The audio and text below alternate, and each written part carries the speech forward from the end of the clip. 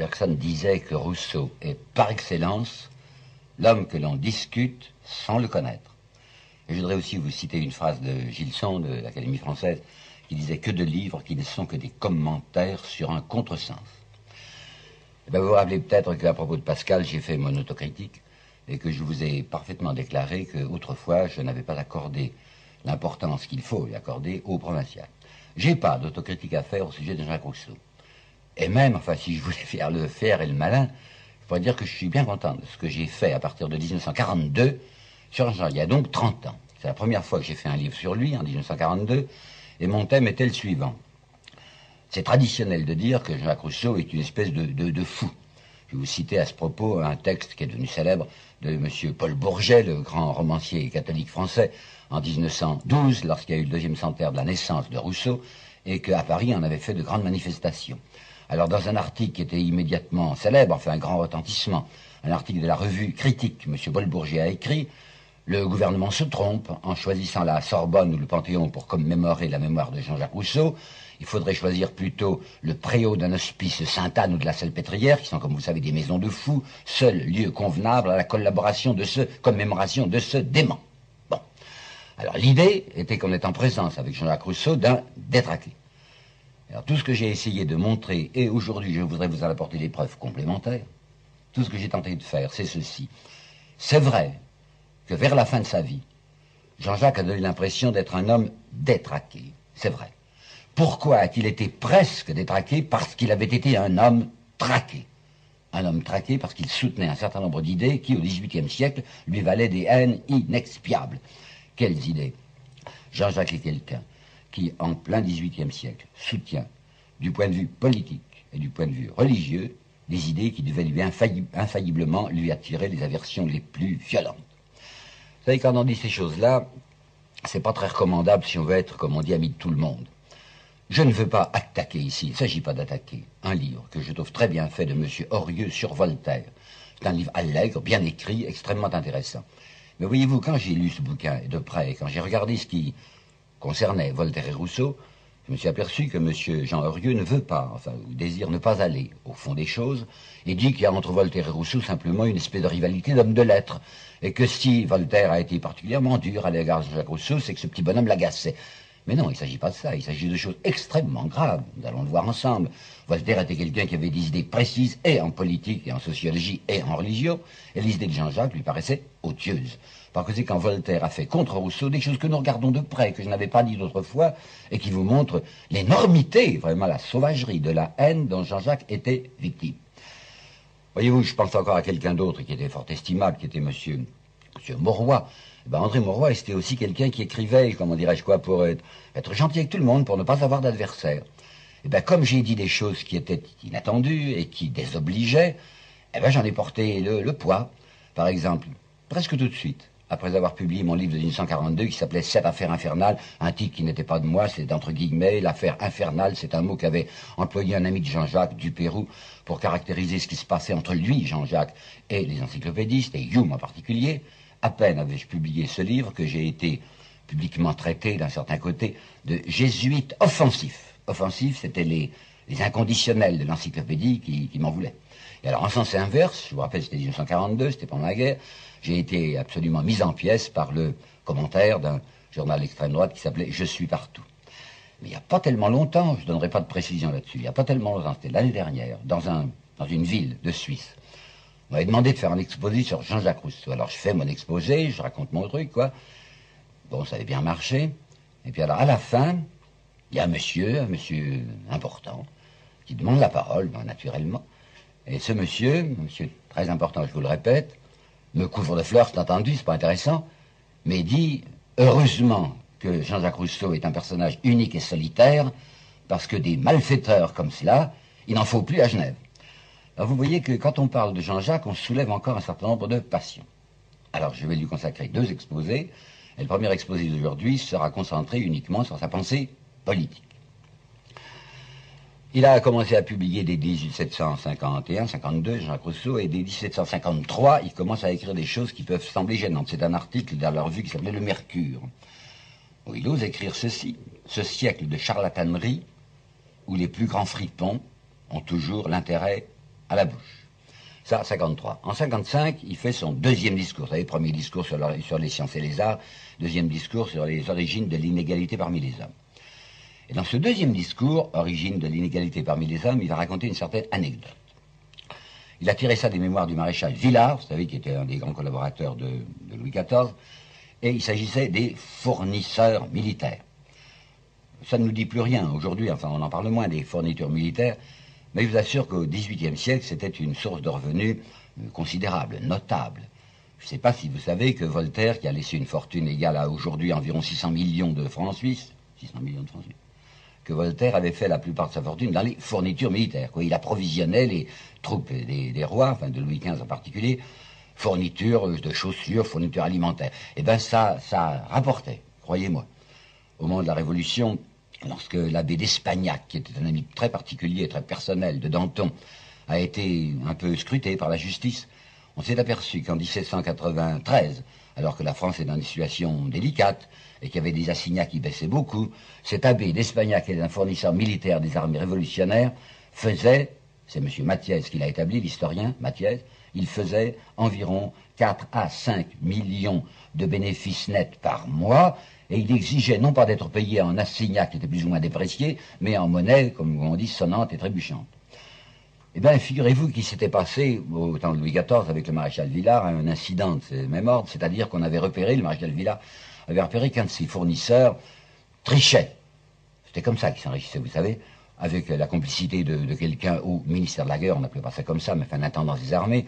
On disait par exemple, vous allez me payer, enfin, l'État me doit 100 000 paires de chaussures, alors qu'on avait fourni 10 000. Ou bien ces paires de chaussures étaient en carton, etc. Bon.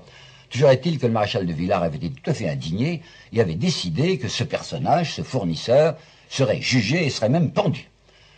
Alors voilà ce que raconte Jean-Jacques d'après le maréchal de Villars. Le maréchal de Villars dit Lorsque je fis savoir à ce fournisseur militaire que j'allais sévir et durement contre lui, il répondit tranquillement Cette menace ne me concerne pas. On ne pend point un homme qui a cent mille écus. Et avec une naïveté que j'espère feinte, maréchal de Villars continuait Je ne sais comment cela se fit, mais en effet, il ne fut pas pendu. Et Jean-Jacques enchaîne en disant C'est que le riche tient la loi dans sa bourse. Il y a un texte de lui aussi sur le luxe. Vous savez, c'est une vieille tradition de dire, mais enfin, il ne faut pas que les gens protestent contre le luxe, les pauvres protestent contre le luxe, parce que le luxe les fait vivre. Par exemple, à Paris, s'il n'y avait pas une brillante société, nous parlons du XVIIIe siècle, une brillante société qui fait des commandes à ses artisans du Faubourg Saint-Antoine parce qu'ils ont besoin de très beaux meubles, eh bien, ces gens seraient plus malheureux. Le luxe, le luxe les entretient. Réponse de Jean-Jacques. Le luxe nourrit peut-être 100 pauvres dans nos villes, mais il en fait périr cent mille dans nos campagnes. Il invente, je ne sais pas s'il invente, un personnage qu'il appelle Chryso, Chrysophile. Vous savez, Chrysophile, c'est deux mots grecs qui veut dire ami de l'or, ami de l'argent. Je ne sais pas si Jean-Jacques discute réellement avec quelqu'un, s'il a inventé ce personnage fictif pour faire un dialogue. Et ce chrysophile est quelqu'un qui dit à Jean-Jacques, mais c'est vrai, je voudrais bien être très riche, j'aime l'argent, parce que l'argent est une puissance, et qu'une fois que j'aurai beaucoup d'argent, je pourrai faire beaucoup de bien autour de moi. Jean-Jacques n'a pas, en doute la sincérité de cet homme, mais il lui dit Tu m'as bien parlé de ta conduite, étant riche, enfin quand tu seras riche. Mais tu ne m'as rien dit de ce que tu ferais pour t'enrichir. Parce qu'il n'y a guère de fortune dont l'origine soit tout à fait clairement avouable et qui ne repose sur le détroussement d'autrui. Alors Jean-Jacques va écrire un certain nombre de choses que voici. Tout cet ordre social prétendu, qui couvre en fait les plus cruels désordres. Comment voulez-vous que l'on admire une société où le profit est en raison inverse du travail? Ou encore ceci. Tout privilège au profit des particuliers qui les obtiennent est à la charge de la nation qui les donne. Il s'amuse aussi de l'artifice usuel des financiers qui, pour dissimuler leurs opérations, répandent partout le bruit, c'est infiniment compliqué. Ah, il faut pour les comprendre avoir fait ses études, enfin c'est quelque chose que le profane ne peut pas comprendre. Et Jean-Jacques dit, oh, je comprends bien, il nous explique que c'est extrêmement complexe, et qu'ils emploient un langage obscur, afin que, ne l'entendant point, ce langage, on n'ose pas le contredire. Il nous parle de ressorts que l'on nous dit si profonds que de peur que peut-être nous tentions de les découvrir dans leur simplicité. Reconnaissons, hein, reconnaissons que Jean-Jacques a un certain ton violent, je dirais âpre, je dirais même plébéien dans sa critique sociale. Je vais vous en apporter trois petites preuves.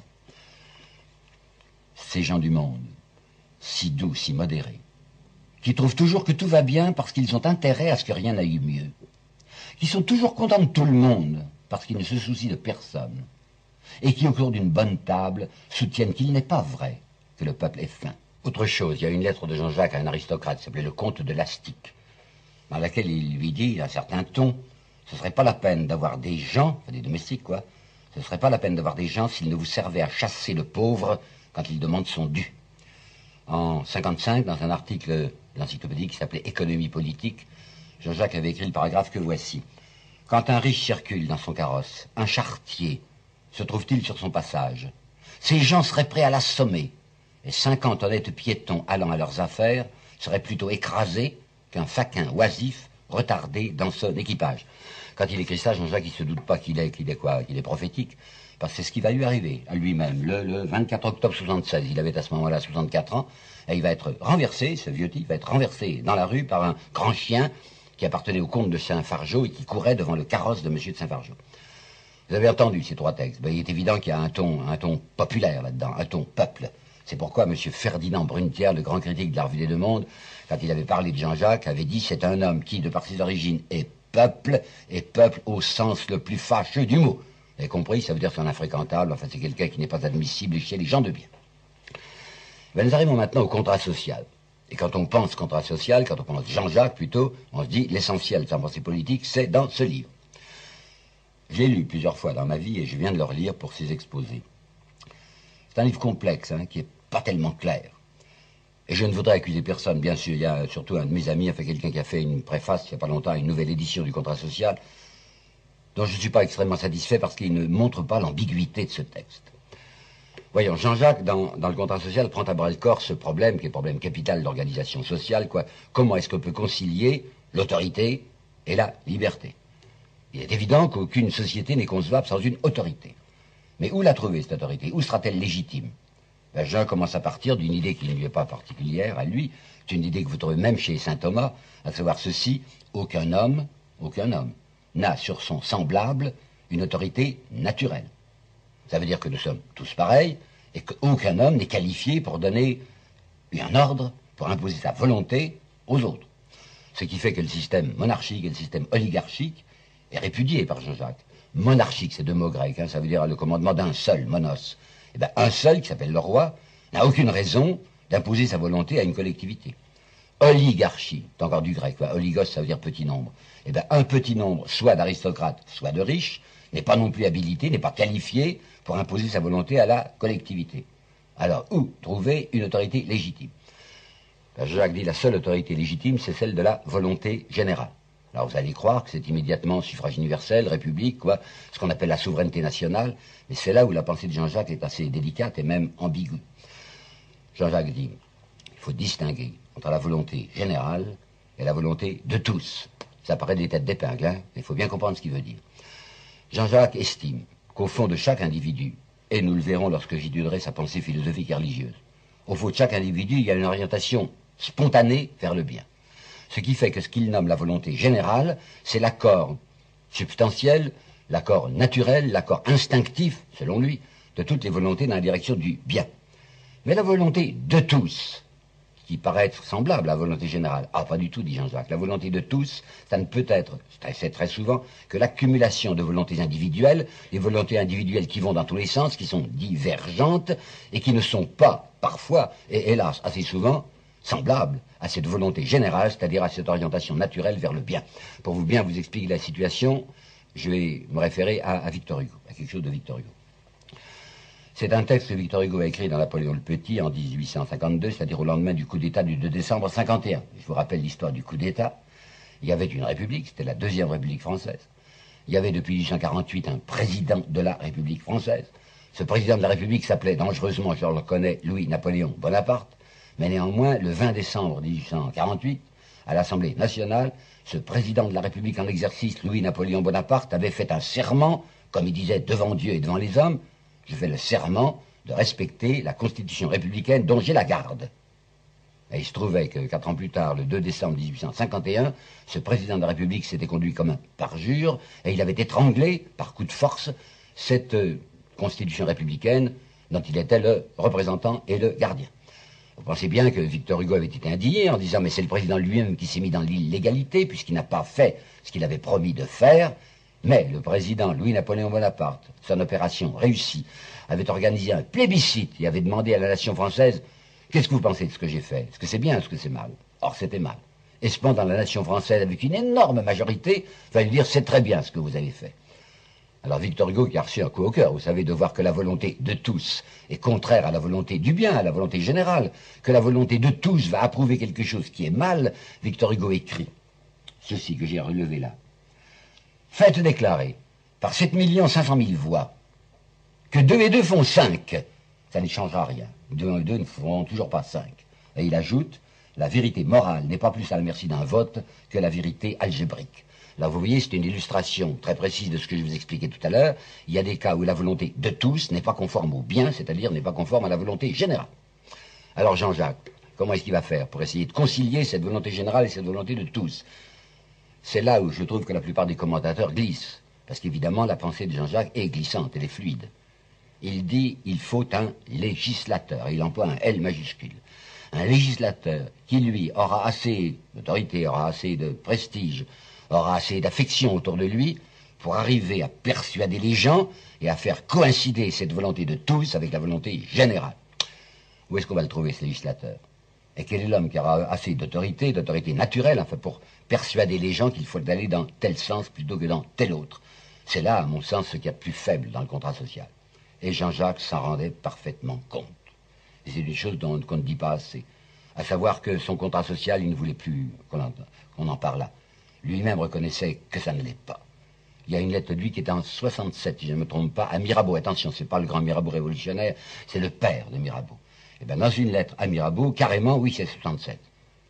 Jean-Jacques lui dit, dans mon malheureux contrat social, ce que j'ai essayé de faire, c'est la quadrature du cercle. Et vous savez qu'on n'y arrive jamais. Et puis en 1690, donc au début de la Révolution, un nommé Dussault, Dussault a publié un livre qui s'appelle Entretien avec Monsieur Jean-Jacques Rousseau. Et dans un de ces entretiens, et je n'ai aucune raison de suspecter la sincérité de ce monsieur Dussault, dans un de ces entretiens, Dussault dit, lorsque j'ai parlé à Jean-Jacques de son contrat social, il m'a dit très simplement et très carrément, c'est un livre à refaire. Pourquoi un livre à refaire? Parce que Jean-Jacques n'est pas un imbécile et qu'il a beaucoup réfléchi à ces problèmes que nous regardons aujourd'hui, enfin le problème de la cité humaine. Et il a parfaitement compris et rapidement compris qu'on n'y arrivera jamais à faire une société juste, une cité harmonieuse, comme dira Peggy, tant qu'on n'aura pas modifié les dispositions des esprits et des cœurs. Il s'agit d'agir sur chaque individu et de faire que chaque homme comprenne ce qu'il est substantiellement et quelle est sa destination. Au début de l'Émile, Jean-Jacques a une phrase sur laquelle on n'attire pas d'habitude suffisamment l'attention. Il dit Notre véritable étude est celle de la condition humaine. Ça a l'air du Malraux, hein Vous avez entendu, il a bien dit ça. Notre véritable étude est celle de la condition humaine.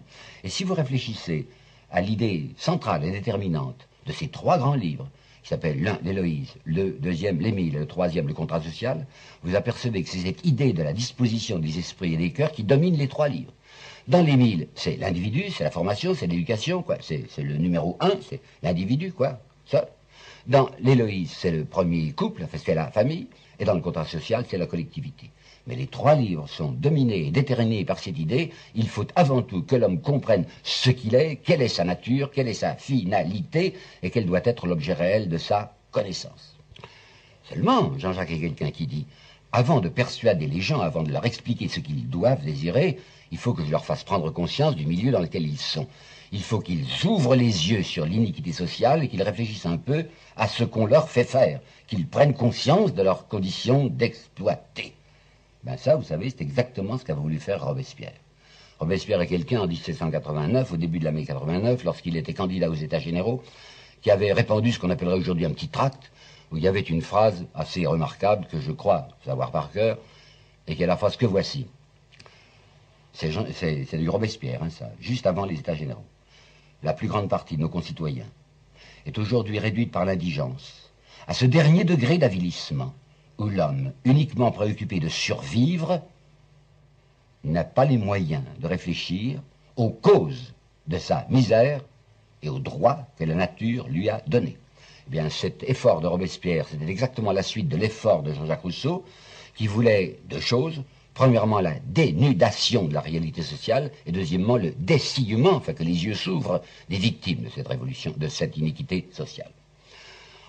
Comprenez bien qu'un homme qui vous propose des choses pareilles va avoir se dresser contre lui des foules de gens. Et les deux choses que je voudrais vous dire dans cet exposé, c'est les haines que Jacques va subir du côté de l'encyclopédie et les haines qu'il va connaître dans sa ville natale, à savoir Genève. L'encyclopédie. Eh nous touchons là à un, vrai problème. Et peut-être qu'autrefois, je n'avais pas assez insisté là-dessus et je voudrais être parfaitement clair.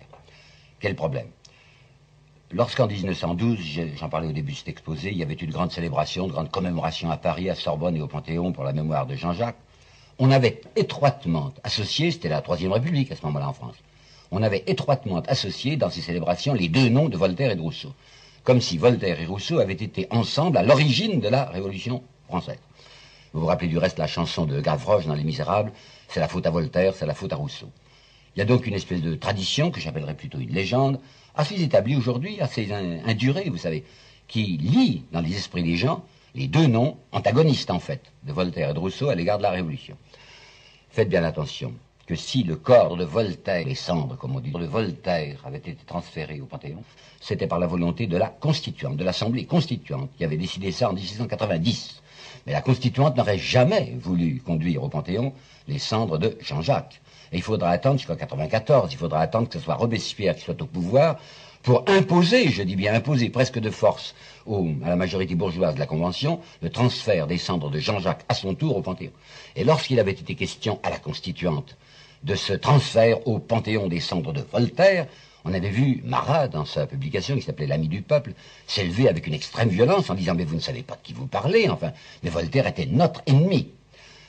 Voyons, comprenons bien ce qui s'est passé, mais pour de bon, alors, en 1789. Ben, en 1789, en réalité, c'est une nouvelle couche sociale qui s'était créée et développée surtout au XVIIIe siècle, qu'on appellera la richesse mobilière. C'est-à-dire, euh, la banque, le commerce, l'industrie qui commençait à se développer et qui en avait assez de voir la richesse immobilière, c'est-à-dire la richesse terrienne, qui était possédée par l'aristocratie et le clergé, avoir entre les mains les leviers de commande. Alors c'était une espèce de protestation de cette classe supérieure du tiers-État, la, la roture dorée, qui voulait à son tour saisir le commandement. Mais il était bien entendu que ce qu'on pourrait appeler déjà, ce qu'on appelait parfois déjà le quatrième État, c'est-à-dire l'immensité des Français, c'est-à-dire les travailleurs français, devaient rester dans leurs conditions serviles. La révolution de 89, pratiquement, c'est une rixe de bourgeois, c'est une bagarre de possédants sur le dos de ce que Victor Hugo appellera la cariatide, c'est-à-dire les travailleurs. Eh bien, Voltaire était absolument de cette idée-là. Et Voltaire était quelqu'un qui ne voulait pas que l'on touchât à la condition des travailleurs. Au point qu'il avait écrit cette phrase que je ne me cesse pas, que je ne cesse pas de citer parce que on la connaît très peu et qu'elle est éclatante. Voilà ce que Voltaire avait dit sur un pays bien organisé. Un pays bien organisé est celui où le petit nombre fait travailler le grand nombre, est nourri par lui, vous entendez bien, est nourri par lui, et le gouverne. Alors d'après ce que je viens de vous expliquer sur la pensée de Jean-Jacques, vous vous rendez compte de l'antagonisme, mais total, mais absolu, enfin de l'antithèse furieuse qu'il peut y avoir entre la pensée sociale de Jean-Jacques Rousseau et la pensée sociale de Voltaire. Si bien que dès que Jean-Jacques commence à exprimer ses idées politiques et sociales, du côté de l'encyclopédie, on se met à le dévorer, on se met à l'attaquer. Par exemple, la correspondance littéraire. Vous savez pas ce que c'est La correspondance littéraire, c'est une espèce de truc qu'on appellerait aujourd'hui ironéotypé, un bulletin qui était à ce moment-là recopié par des scribes et qui était envoyé à tout ce qui comptait en Europe, et c'était Grimm, un encyclopédiste, qui le rédigeait, eh bien, la correspondance littéraire va reproduire le 1er mars 56, à la suite du texte de Jacques Rousseau qui s'appelle Le discours sur l'origine de l'inégalité, une attaque d'un, jésuite du, du qui le révérend père Castel et qui dit Rousseau est quelqu'un qui allume le feu de la sédition et qui détruit toute société. Quant à Voltaire, voilà son jugement sur l'origine de l'inégalité. C'est la philosophie d'un gueux qui voudrait que les riches fussent dépouillés par les pauvres. De même, voici encore la correspondance littéraire de Grimm du 15 avril 59. Rousseau, qu'est-ce qu'il fait? Il habille de rhétorique des opinions triviales qui plaisent aux gens de la populace. Et Madame Dudéfend, qui est une encyclopédiste, qui est une amie de Voltaire et du groupe, écrit Ce Jean-Jacques, si on le laissait faire, il remettrait tout dans le chaos. Ben, vous savez ce qui va lui arriver à Jean-Jacques, c'est le décret de prise de corps du 9 juin 62. Le Parlement décide qu'il faut faire l'arrestation de Jean-Jacques Rousseau. Ce que l'on sait moins, et ce que je voudrais bien mettre en lumière, c'est que l'encyclopédie n'est pas pour rien dans l'arrestation de Jean-Jacques. Madame de Verdelin, qui était une femme du monde, qui était très bien placée, qui connaissait beaucoup de choses, va écrire carrément ceci à Jean-Jacques, c'est le troupeau encyclopédique qui a mis en branle les magistrats. Parmi les membres du Parlement, qui étaient tous de très grands bourgeois, il y avait une majorité de voltairiens, ils étaient trop contents de frapper Jean-Jacques, ennemi de la société et dangereux. Et ils vont réussir ce coup fumant d'avoir avec eux l'archevêque de Paris, savez, qui s'appelait Christophe de Beaumont, qui va lancer un mandement contre Jean-Jacques, et Jean-Jacques répondra ainsi, étranges apôtres, qui n'osent ou ne veulent rien dire que ce qui convient à ceux qui commandent, payés par le fort pour prêcher le faible, ils ne savent parler aux faibles que de ses devoirs et aux forts que de ses droits. Bon, vous avez vu du côté de, des encyclopédies ce qui s'est passé. Genève maintenant. Jean-Jacques est donc frappé en France, où il habitait, le 9 juin 62 de ce décret de prise de corps. Il arrive à s'évader, il s'échappe, et où va-t-il? Ben, Naturellement vers sa ville natale. Il est rentré dans la communauté genevoise en 54, il croit, il croit, le pauvre type, avoir fait honneur à sa ville, à la ville de Genève, en lui dédiant son discours sur l'origine de l'inégalité. Ouh, mais ça n'a pas plu du tout, vous savez, aux notables de Genève. Il y avait un très grand notable, aujourd'hui oublié, qui s'appelait Monsieur Bonnet, Charles Bonnet, qui était propriétaire à Gentot, enfin on l'appelait le seigneur de Gentot, et qui vient immédiatement riposter par un texte qu'il va signer Philopolis, c'est-à-dire ami de la ville, où il va déclarer que Jean-Jacques est un personnage bien dangereux. Là, il y a une certaine Madame de, Madame de Constant, qui est dans la belle société genevoise, et qui dit, à propos de ce discours de Jean-Jacques, rien n'est plus sot et plus fait pour le bas. Ça veut dire quoi pour le bas à Genève Il y a les rues hautes, qui sont des rues bien, hein, et puis la rue basse. Ben, les rues basses, les, les rues plébéiennes, elles sont du côté de Jean-Jacques, mais Jean-Jacques est infiniment dangereux. Alors, le malheureux Rousseau, qui ne s'y attend pas une seconde, hein, et qui se dit je vais trouver refuge dans ma ville natale, pas du tout. Il n'est même pas arrivé à Genève, il est à Yverdon, quand il apprend brusquement que les autorités genevoises elles-mêmes, à la suite d'un rapport prononcé par le procureur général Tronchin, ont décidé que lui, Genevois, serait aussi mis en état d'arrestation s'il mettait les pieds sur le territoire de la République de Genève. C'est un coup extrêmement dur pour lui. Alors qu'est-ce qu'il va faire Vous savez qu'il va se réfugier à Motier, va réfléchir sur ce qui se passe à Genève. Il se dit, mais enfin, qu'est-ce qui est arrivé à Genève alors dans ses lettres écrites de la montagne, il va se référer à l'histoire de Genève et il va dire mais au départ c'était vrai, c'était une espèce de république. Mais je m'aperçois que cette république, elle est devenue assez drôle. Enfin, elle est devenue une oligarchie. C'est une espèce de république de, banquiers. Enfin, c'est un conseil d'administration qu'on appelle le petit conseil. Il se rappelle qu'un protestataire en 1707, 1707 avait demandé que fût, fût, limité le nombre des gens de la même famille appartenant aux deux conseils. Vous savez, le grand conseil, 200, puis il y avait le petit conseil. On avait balancé cette réclamation, si bien qu'au moment où Jean-Jacques vivait et écrivait, il n'y avait pas moins de dix Malais et de sept Cramer au Petit Conseil de Genève avec tout un pullulement de Lulin, de Galatin et de Tronchin. Jean-Jacques publie ses lettres écrites de la montagne. Bah, vous imaginez le, bruit que ça peut faire. Hein. Épouvante à Genève. Les notables se disent, bah, il va soulever contre nous les, les rues basses. Une fureur contre Jean-Jacques. Une telle fureur qu'on voit dans les lettres les gens qui s'écrivent les uns aux autres en disant tout de même, il n'y a pas si longtemps, c'était en 1707. Nicolas Lemaître, on l'a arrêté, on l'a torturé, ensuite on l'a exécuté. Et puis Pierre Facio, il a été arquebusé dans la cour de sa prison. Et puis Michele Ducret, il a été condamné à mort. Il a été ensuite condamné simplement à la détention perpétuelle. Si on pouvait le tenir, ce Jean-Jacques, on ne peut pas le tenir parce qu'il est à De Châtel, enfin, qui est une terre prussienne à ce moment-là. C'est pour vous montrer la violence des haines qui se éclatent contre lui, au point que le seigneur de Gentot, Bonnet, dit à son fils, ce Jean-Jacques, c'est un monstre, c'est un véritable monstre. Il n'y a guère que 200 ans, c'est lui, et non pas son livre, que nous aurions fait rôtir. Parce que je viens de vous dire m'amène, en une dernière seconde, minute, à vous indiquer la longue haine qui a persécuté Jean-Jacques Rousseau. Si vous vous reportez aux gens, bien par exemple à M. Taine, dans ses origines d'histoire contemporaine, vous voyez Taine déclarer Rousseau, une rancune de plébéien, pauvre et aigri, et qui, entrant dans le monde et trouvant la place prise, n'a pas su y faire la sienne. Il n'échappe à l'envie que par le dénigrement. Les trois grands auteurs, les trois grands critiques de ma jeunesse, Brunetière, Faguet, Lemaître. Brunetière, je vous l'ai dit, un peuple au sens le plus fâcheux du mot. Faguet, Rousseau, un être amputé de sens moral. Gilles Lemaître, jamais plus de mal n'a été fait par un écrivain que par cet homme-là. Donc c'était vrai que Jean-Jacques avait écrit dans ses dialogues il avait écrit ses dialogues à la troisième personne, nous sommes en, 1600, en 1774, et il dit ceci, vivant ou mort, il, il, lui Jean-Jacques, vivant ou mort, il les inquiétera toujours. Qui ça Les ben, Les sages, quoi, les, les, raisonnables, les avisés, les gens de bien, les honnêtes gens. La dernière fois, je vous ai parlé de la pensée politique de Rousseau, et aujourd'hui, on va regarder ensemble sa pensée religieuse. Ben, je ne vous cache pas que c'est un sujet scabreux, sujet difficile à traiter, Parce qu'il y a d'un côté les amis politiques de Jean-Jacques qui n'aiment pas beaucoup. C'est un aspect religieux, ils jettent un voile là-dessus, une espèce d'infirmité qui est arrivée à leur héros. Et d'autre part, les ennemis de Jean-Jacques, les ennemis politiques de Jean-Jacques, qui sont d'habitude ce que l'on appelle les, bien-pensants, ben, ces bien-pensants, ça leur coûte beaucoup de reconnaître que Jean-Jacques pensait en religion ce qu'ils prétendent, eux, penser. J'ai tâché d'appeler votre attention la, la dernière fois sur quelque chose que je crois capital, c'est-à-dire que toute l'œuvre de Jean-Jacques Rousseau est dominée par une certaine préoccupation d'ordre religieux. Et cette préoccupation, c'est d'expliquer ce que c'est la nature profonde de l'homme, la destination de l'homme. Euh, dans, le dans le deuxième discours, l'origine de l'inégalité, il avait mis ce qu'on appelle une épigraphe. C'est un texte latin. Pardonnez-moi de faire le cuistre, je vais vous dire comme il l'a écrit, c'est du poète latin perse. Homme, quem te deus esse iusit disque. Disque, c'est un impératif qui veut dire apprends. Homme, créature, apprends ce que Dieu a voulu que tu sois. Comprends, comprends, entends bien ce que Dieu désire que tu sois. Et là-dessus, voici ces de Jean-Jacques, que l'homme vive de la vie de l'homme. Je ne demande rien d'autre. On ne peut être heureux qu'à proportion qu'on se rapproche de soi. La créature n'est libre qu'à l'heure où sa volonté pèse actuellement et tout entière vers cela même qui est son vœu le plus profond. écoutez bien celle-ci, c'est du Jean-Jacques, hein. Notre vrai moi n'est pas tout entier en nous. C'est exactement du Pascal, lequel Pascal disait l'homme passe infiniment l'homme. Et c'est assez saisissant de penser que Jacques Rousseau, qui, à mon avis, connaissait très peu Pascal, n'avait pas pratiqué, le rejoint. Il y a la convergence de ces deux grands esprits à travers un siècle. C'est ça, la grande idée de Rousseau. Alors vous pensez bien que ça ne va pas plaire à un certain nombre de, gens.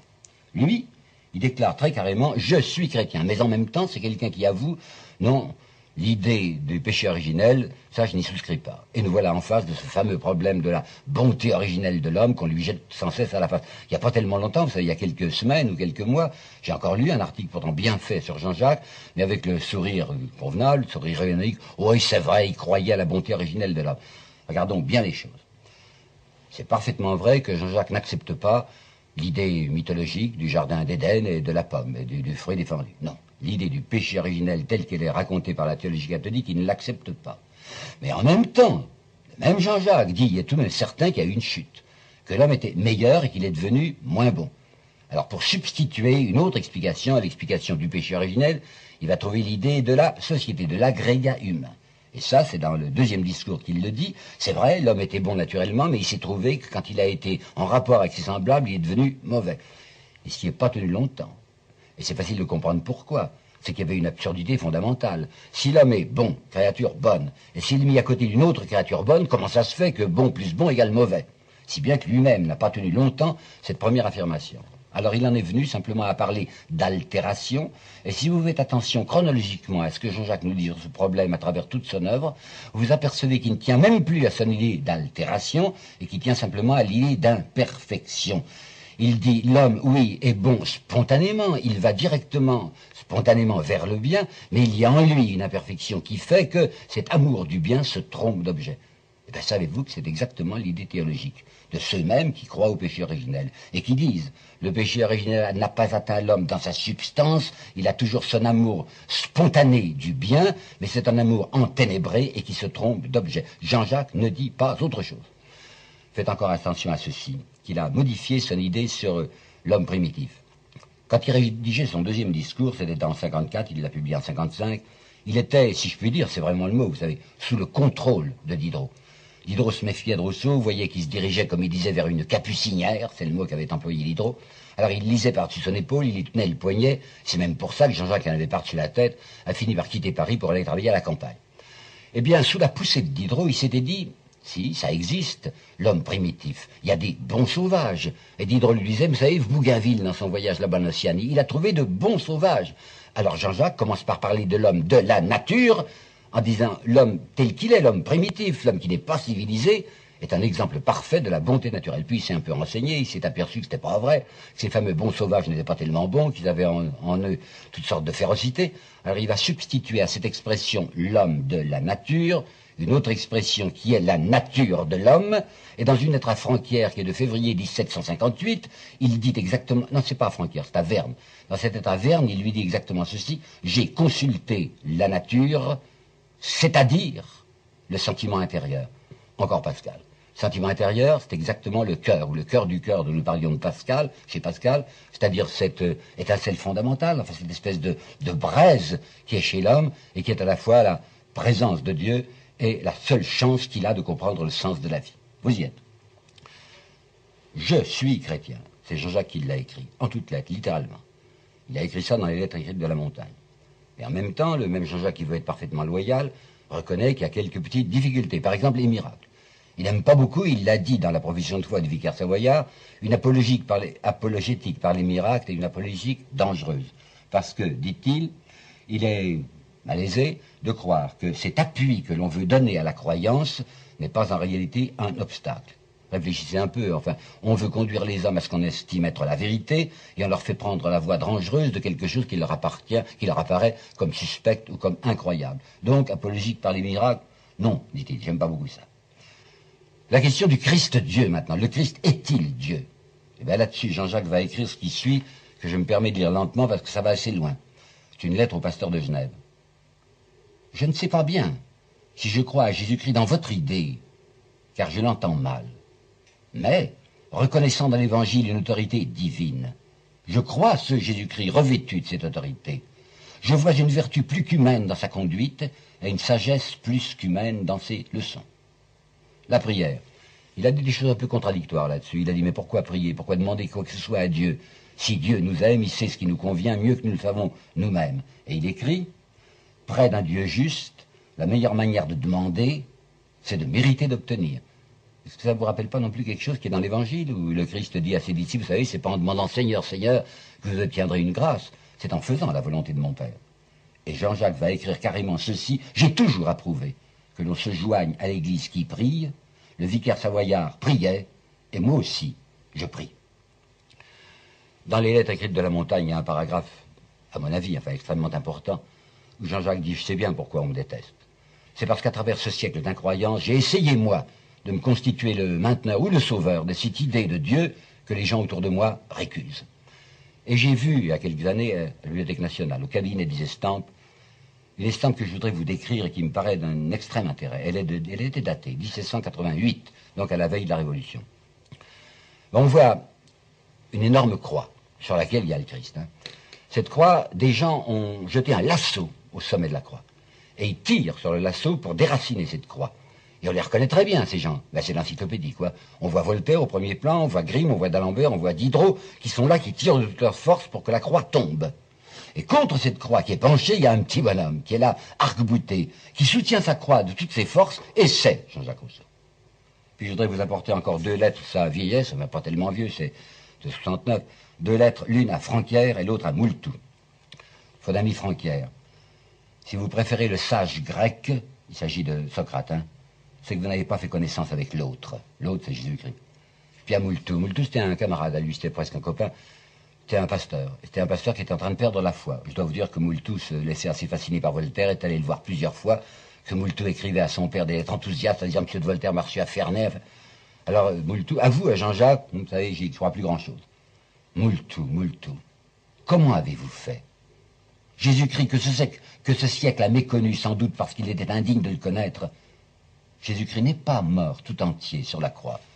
Il est là avec nous, mystérieusement, et vivant. Bon. Eh bien, ce Rousseau, qui déclare je suis chrétien, qui a voulu essayer de se battre pour maintenir l'idée chrétienne, savez-vous qu'il a été, avec une extrême violence et que ça continue, récusé, répudié, refusé par les catholiques, par les bien-pensants, enfin par les chrétiens dans leur ensemble? Pourquoi? Parce qu'il avait commis le péché irrémissible. Il avait commis la faute capitale. Il avait touché à l'arche. Qu'est-ce que c'est que l'arche? Mais c'est l'argent, l'argent avec une majuscule. Alors ça vous attendra pas sans doute que M. Brunetière, le catholique Brunetière, va dire, entre Voltaire et Rousseau, il y a au moins cette différence, que Voltaire, nous devons lui savoir gré d'avoir toujours défendu la grandeur de l'institution sociale, tandis que Jean-Jacques, lui, il a mis en cause l'institution sociale.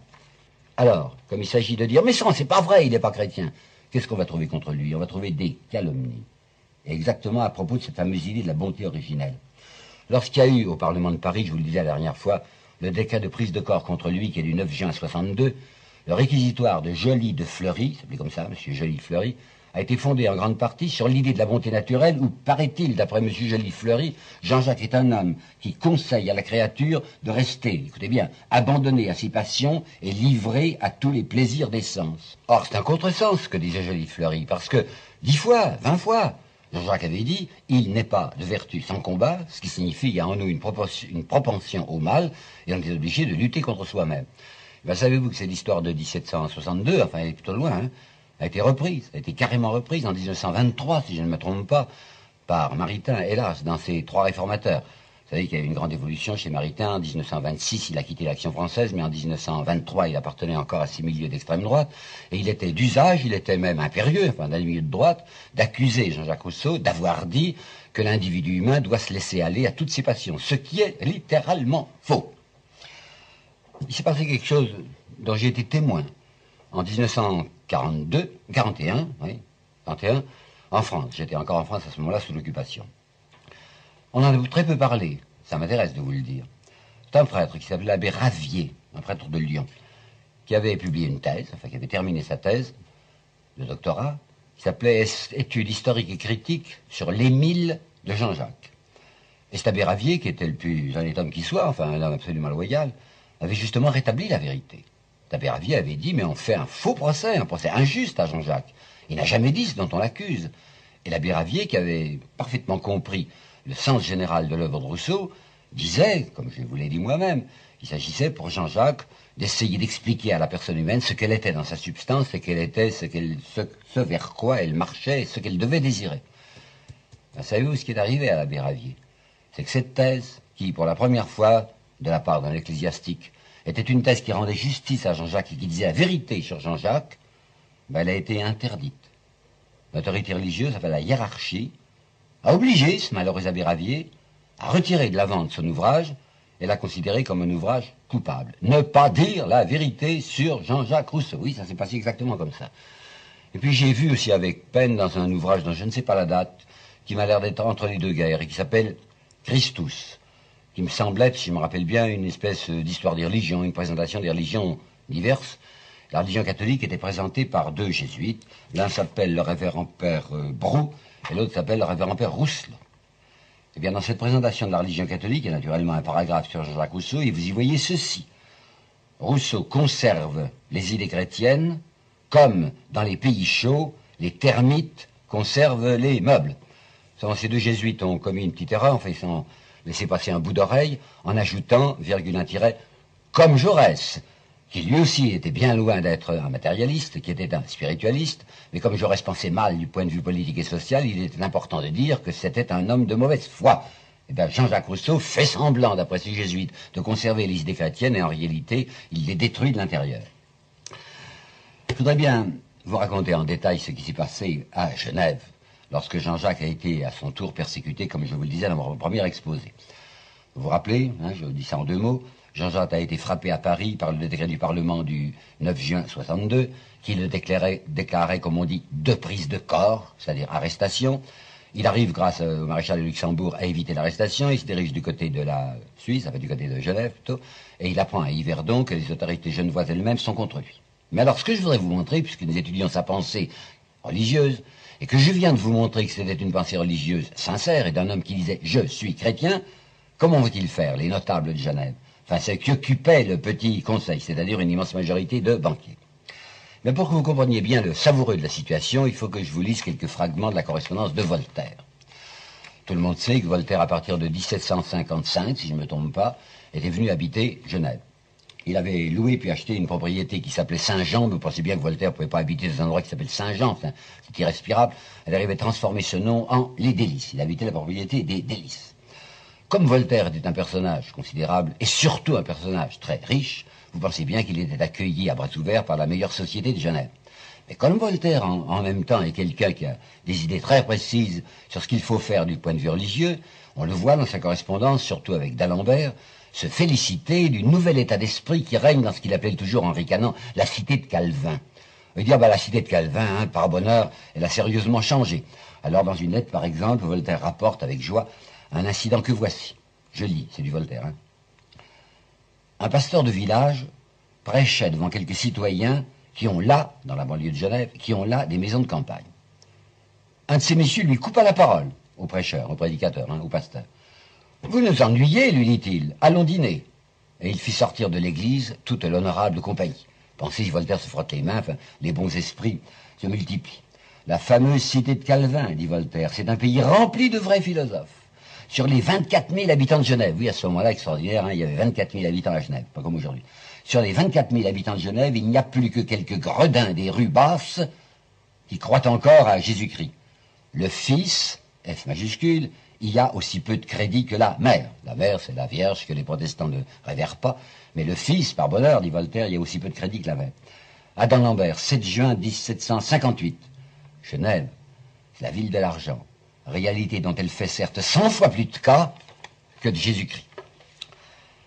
Je ne sais pas si Voltaire exagérait. Hein. Ce que je peux vous dire, c'est qu'on a un certain nombre de témoignages qui prouvent que dans la très belle société de Genève, du côté de M. Bonnet ou du seigneur de Gentot, ou du côté de M. Dupin, qui était membre du conseil, qui était un banquier, qui lui était seigneur de Morillon, je crois, je vous assure que les idées voltairiennes avaient du succès. Dans la correspondance de Dupin, je vois par exemple que M. Dupin se réjouit beaucoup à la lecture de La Pucelle. Je ne sais pas si vous savez ce que c'est que La Pucelle, c'est un ouvrage ignominieux. C'est pas moi qui parle, c'est Jaurès. Dans un discours de Jaurès à la Chambre des députés en 1908, il a parlé de Jeanne d'Arc, et il a dit, je ne me référerai certes pas à l'ouvrage ignominieux de Voltaire sur Jeanne. J'ai même pas envie de donner des détails précis sur ce que Voltaire disait contre Jeanne, tellement c'est bas et en effet ignoble. Eh bien, monsieur Dupin, le banquier Dupin, dit, c'est excellent cette tutelle. Cela fait faire, je cite, cela fait faire de beaux éclats de rire à nos dames. Du même Dupin, qui a beau être un, banquier, un membre du petit conseil, et donc, comme vous allez le voir, le vocabulaire était un petit peu brutal. Il dit, c'est admirable ce poème de Voltaire qui s'appelle Désastre de Lisbonne. Vous savez, le désastre de Lisbonne, c'est Voltaire qui s'est déchaîné contre l'idée de la Providence, parce qu'effectivement, il y avait eu un tremblement de terre à Lisbonne le 1er novembre 55, je sais pas, et que ce tremblement de terre, un jour de la Toussaint, avait fait une hécatombe. Et Voltaire en tirait des arguments que vous pouvez deviner en disant, bah, si jamais il y avait une providence, le tremblement de terre ne serait pas opéré le jour même où les églises étaient pleines, ce qui a fait quelque chose comme 30 000 morts. Eh bien, savez-vous ce qu'il dit, monsieur le banquier Dupin, à propos de ce livre de Voltaire? Ce protestant, Dupin, enfin, membre de la cité de Calvin, et qui dit, pardonnez-moi, c'est pas moi qui parle, hein, c'est Dupin. La Providence en prend le cul, dit-il. Autre chose, il se réjouit énormément du port d'une plaisanterie qu'a faite Voltaire en parlant de gens qui, en l'Inde, enfin je ne sais pas si c'est vrai, Voltaire dit, il y a dans les Indes des tribus qui prennent pour Dieu le phallus. Alors il dit, au moins ça, c'est des gens qui vont au solide. Tandis que nous autres, enfin les papistes, savez-vous ce qu'ils ont fait? Ils ont fait d'une gaufre leur bon Dieu. Ah ben je comprends que les Indiens sont un peu plus raisonnables. Là vous voyez la pensée voltairienne et la diffusion qu'elle recevait du côté de chez M. Dupin et des autres. Alors, lorsque Jean-Jacques Rousseau a publié le contrat social, lorsqu'il menaçait, semblait-il, de revenir à Genève, lorsqu'à Genève il était dangereux parce que les rues basses seraient peut-être été pour lui, qu'est-ce qu'on va voir? On va voir le petit conseil de Genève qui va faire semblant, qui va faire semblant de ne s'occuper pas en, vérité d'affaires politiques et sociales, mais de prendre le biais et de prendre la diversion d'une attaque prétendue que Jean-Jacques aurait menée contre le christianisme. Il est parfaitement vrai, je vous l'ai indiqué, que par loyauté, Jean-Jacques avait dit dans la provision de foi du vicaire savoyard, j'aurais des objections à faire au miracle. Alors, les gens du petit conseil de Genève, pour masquer leur opération politique, vont essayer de la farder en opération religieuse. Ils vont se tourner du côté de là, comme on disait, la vénérable compagnie des pasteurs. Et vont demander aux pasteurs de Genève de marcher contre Jean-Jacques Rousseau en le dénonçant comme un ennemi du christianisme. C'est à l'honneur, c'est à l'honneur des pasteurs de Genève de voir qu'ils n'ont pas voulu marcher. Parce qu'ils sentaient bien ce qu'il y avait derrière, et ils s'apercevaient que c'était singulier l'opération dont on les chargeait. C'était d'autant plus curieux qu'un de ces pasteurs, qui s'appelait Vernet, Vernet, avait désiré faire un petit libelle, enfin un petit texte, contre Voltaire, parce que Voltaire avait parlé de l'âme atroce de Calvin. Pour vous dire, Serre avait bien entendu, l'âme atroce de Calvin. Alors ce pasteur avait dit, j'ai l'intention de faire un petit libelle, pour indiquer que tout de même, M. de Voltaire, qui est hôte de la cité de Genève, parle assez curieusement de Calvin. Eh bien, savez-vous que le petit conseil de Genève avait interdit à ce pasteur Vernet de dire quoi que ce soit contre M. de Voltaire, parce que c'est un homme riche et protégé par la France. Alors, le petit conseil va attaquer lui-même, puisque les pasteurs se dérobent, va attaquer lui-même Genève, euh, Jean-Jacques Rousseau, va attaquer lui-même Jean-Jacques Rousseau comme étant quelqu'un qui a porté atteinte à notre sainte réformation. Et ce qui est plus remarquable, c'est ce monsieur Dupin, dont je vous ai cité deux jolies formules sur la providence qui en prend dans, etc., et sur la pucelle, qui le ravit tellement, où on voit ce monsieur Dupin écrire, décidément, on dirait que l'intérêt de la religion est ce qui touche le moins nos pasteurs. En somme, c'est l'alibi, hein, l'alibi en plein fonctionnement, le saint alibi. On pense argent et on dit Dieu. Maintenant, tout à fait autre chose. Les encyclopédistes. Je viens de vous expliquer que les, bien-pensants et les possédants de Genève avaient fait semblant de ne pas croire à la sincérité religieuse de Jean-Jacques Rousseau et dit c'est pas un vrai protestant, c'est pas un vrai chrétien et c'est pour ça que nous le poursuivons. Mais du côté de l'encyclopédie, on ne met pas en doute la sincérité religieuse de, de Rousseau. Et c'est précisément en tant que chrétien qu'il va être paru persécuté. Comprenez bien quelle est l'affaire en cause, et qu'elle est très sérieuse, vous savez. Voltaire n'est pas quelqu'un qui rit. Il ricane peut-être, mais il rit pas. Il a eu un certain travail qu'il s'est assigné, un travail auquel il se donne tout entier, parce qu'il croit du reste qu'il fait bien, à savoir la destruction du christianisme. Il y a une lettre de lui à d'Alembert qui est d'une limpidité absolue sur ce point, où il dit Pourquoi cinq ou six hommes de qualité qui travaillent ensemble n'arriveraient-ils pas à détruire ce que douze faquins ont construit? Vous avez compris, les douze faquins sont les apôtres les cinq ou six hommes de qualité qui s'entendent, eh ben c'est précisément les encyclopédistes, c'est Voltaire lui-même, c'est Diderot, c'est Grimm, c'est d'Alembert, Dolbach, etc.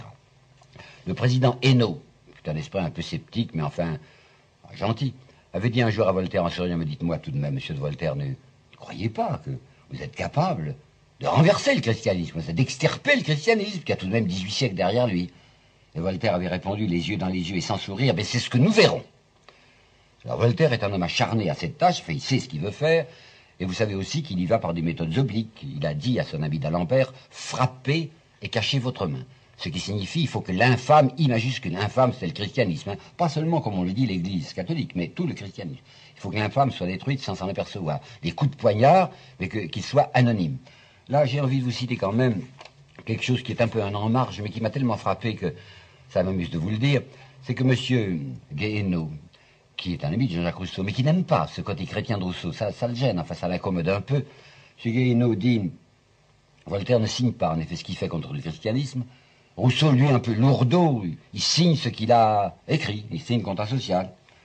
Et M. Guéhenno écrit, je dirais même ose écrire, Voltaire savait, lui, que la vérité marche à pas de colombe, et il ne considérait pas qu'elle lui appartint, il préférait l'humilité de l'anonymat. Enfin, vous en pensez ce que vous voudrez.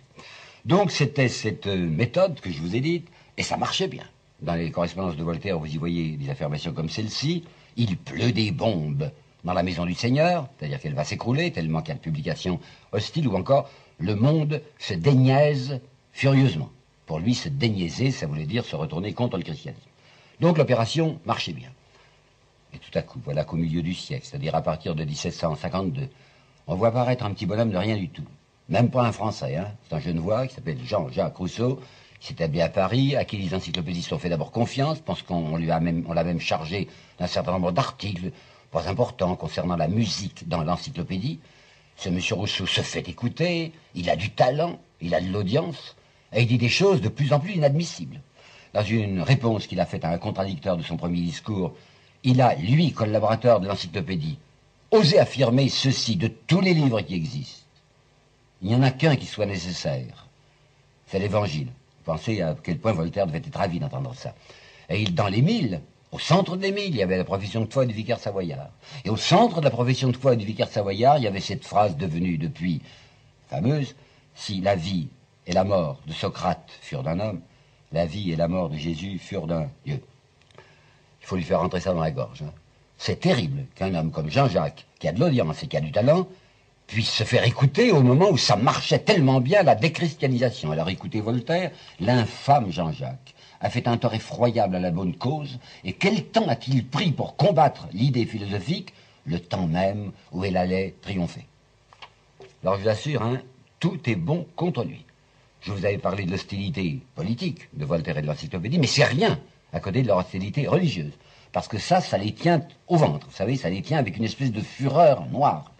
Alors depuis 1754, ça a commencé, je vois dans le journal de l'abbé Trublet, le 25 septembre 1754, une soirée qu'il a passée chez Madame Geoffrin. Madame Geoffrin tenait un salon, un salon littéraire et philosophique. Et il dit, l'abbé Trublet, Madame Geoffrin peint à merveille M. Rousseau, et par des détails peu importants en apparence, décisifs néanmoins pour un connaisseur, et qui prouvent tout ce qu'il y a d'affectation, de fausseté et pour tancher le mot de coquinerie dans sa singularité, son désintéressement et son paradoxe. Grimm vante le petit chef-d'œuvre de M. Diderot, portrait au vitriol du trop célèbre citoyen de Genève, qui est un misanthrope, qui est un neurasthénique, qui est un hydrophobe, lequel déverse, paraît-il, sur l'humanité un torrent d'invectives et de fiel. Mais c'est le comportement de Voltaire qu'il nous faut regarder de plus près, parce que vraiment ça c'est intéressant. Dès que Jean-Jacques avait publié La Nouvelle Héloïse, Voltaire a écrit ce qui suit. C'est un pamphlet. Il y avait en effet une lettre sur Paris, qui était assez sévère sur Paris, sur la corruption de Paris. C'est un libelle contre la nation qui donne à l'auteur de quoi vivre. Parce que vous avez compris la perfidie? Ça veut dire, mais c'est inadmissible, ces Français se laissent insulter, insulter chez eux. J'espère bien qu'on va renvoyer ce Jean-Jacques qui n'est même pas français. Vous avez vu le comportement de Voltaire au moment du décret, et qu'il a agi sur les magistrats à Paris, qu'il va aussi agir sur les magistrats de Genève pour que Jean-Jacques soit incarcéré s'il ose mettre le pied dans sa, dans sa ville natale. Et le jeu de Voltaire est extrêmement intéressant parce que, comme le Petit Conseil a décidé d'user de l'alibi dont je vous ai parlé, et de prétendre que Jean-Jacques est un mauvais chrétien, Voltaire lui-même, qui Dieu sait ne peut pas passer pour chrétien, va apporter de l'eau au moulin et va dire mais c'est vrai ce Jean-Jacques, hein, c'est vraiment un très mauvais chrétien. Nous avons appris par exemple le détail que voici, un ouvrier agricole, c'est un journalier qui travaillait chez Voltaire, à Ferney. C'était un jour permis de demander au maître qui passait là, mais qu'est-ce qui se passe donc à Genève à propos de ce monsieur Rousseau? Et Voltaire avait répondu, sachant qu'il s'adressait à un pauvre type, à un journalier qui était traditionnellement chrétien, il dit, ah, ce monsieur Rousseau, je comprends, il écrit des choses abominables contre la religion chrétienne. Il va encore beaucoup plus loin. Voltaire, qui est habile à faire des faux, vous savez, ça ne le gêne pas du tout, va publier ce qu'il appelle le catéchisme de l'honnête homme. Anonyme, hein, catéchisme de l'honnête homme. Je me trompe du reste en disant anonyme, car c'est signé d'un certain nombre d'initiales, et ces initiales sont transparentes, par monsieur Jean-Jacques Rousseau, ex-citoyen de Genève. Mais tout ça par initiale. Bon. Alors, qu'est-ce qu'il a fait avec sa Voltaire? Il s'est emparé d'un certain nombre de pages de la profession de foi du vicaire savoyard. Des pages qui sont en effet des pages critiques, dont je vous ai parlé, critiques sur les miracles. Puis, Prenant ces textes authentiques de Jean-Jacques Rousseau, il les fait suivre de déclarations monstrueuses, et qui sont évidemment pas de Jean-Jacques Rousseau, mais qu'il fait passer pour telles. Par exemple, comment reconnaître un Dieu dans ce juif de la populace, Jésus-Christ, et qui suait du sang parce que la mort lui inspirait de l'effroi? Eh bien ça, c'est du Voltaire attribué faussement à Jean-Jacques Rousseau. Mais ce que j'ai de plus intéressant à vous dire, et je crois que la dernière fois j'avais fait une allusion à M. Horieux à ce propos, c'est le comportement de Voltaire au moment des lettres écrites de la montagne. Ça vaut la peine que je vous l'explique en détail. Les lettres écrites de la montagne, c'est Jean-Jacques qui, est réfugié dans la région de Motier et qui se défend contre ce qu'on lui a fait à Genève et qui explique pourquoi la République de Genève s'est singulièrement transfigurée.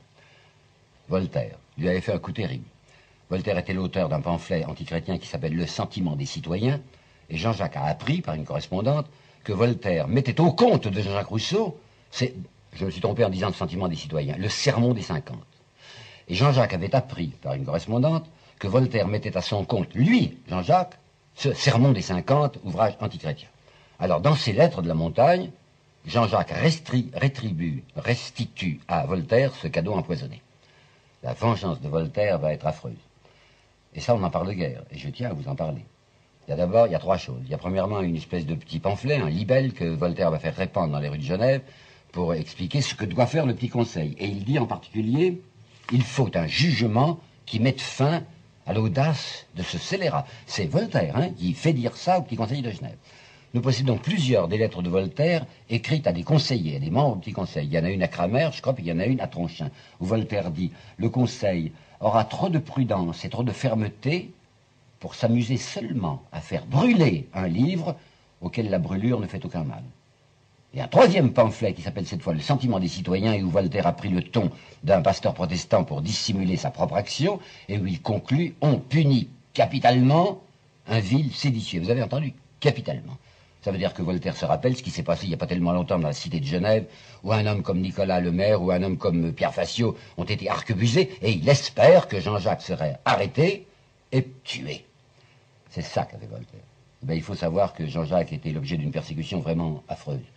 Il faut savoir qu'il a été obligé de se réfugier auprès de Hume parce qu'il croyait que Hume l'aimait et qu'il s'est aperçu que Hume ne l'aimait pas et le trahissait. Il faut savoir que Jean-Jacques, je vous l'ai dit, est arrivé à un certain moment de sa vie aux frontières du détraquement. Lorsque vous voyez, par exemple, dans les rues de Paris, cet homme de 60, 64 euh, ans, oui, qui a écrit un petit pamphlet, un petit texte qui s'appelle À tout français aimant encore la justice et la vérité, et qui, tel un camelot, distribue sa petite feuille dans la rue, la rue Plâtrière, là où il habitait. Il l'avait tellement persécuté, les encyclopédistes, qu'il l'avait conduit aux frontières de la folie. Pourquoi l'ont-ils tellement haï? Pourquoi l'ont-ils tellement persécuté? Parce que Jean-Jacques, c'est quelqu'un qui avait écrit dans la Nouvelle Louise cette prière, cette prière qui mettait sur les lèvres de Julie, mais qui était sa prière. Seigneur, je veux le bien que tu veux, et dont toi seul est la source. Je remets mon cœur sous ta garde, et mes désirs entre tes mains. Savez-vous que sur la profession de foi du vicaire savoyard, dans le manuscrit qui est conservé à Genève, je crois, il y a ceci qui est dans le manuscrit. Non pas pour moi, non pas pour moi, Seigneur, mais pour ton nom. C'est un petit fragment du psautier de Genève. Il savait bien, Jean-Jacques, qu'il avait fait des quantités de fautes. Et il disait, je mets les mots qu'ils m'attirent, mes livres, en compensation du mal que j'ai fait. Je vous assure que je ne perds pas les pédales, hein, que je ne suis pas en train, en train d'en dire trop. Mais j'appelle votre attention sur cette vérité même, que Jean-Jacques a souffert persécution à cause de son christianisme. Ça me rappelle un certain mot de l'Évangile que je n'ai pas besoin de citer tout entier. Ceux qui seront persécutés à cause de mon nom, qui seront persécutés à cause de mon nom, qui seront persécutés à cause de mon nom, qui seront persécutés à cause de mon nom, qui seront persécutés à cause de mon nom, qui seront persécutés à cause de mon nom, qui seront persécutés à cause de